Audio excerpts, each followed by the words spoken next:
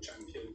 Uh, like I respect all the players, but it, for me, it's just a personal thing. I try not to play anyone up there. Just it's just all about how I play and, and my game. So I'll concentrate on that because I can't do anything to their game. I just want to be winning. You know, I want to win tournaments. I'm here to win. I'm not here to make up numbers. So if I'm back in and winning tournaments, winning the match play, then yeah, the way back on.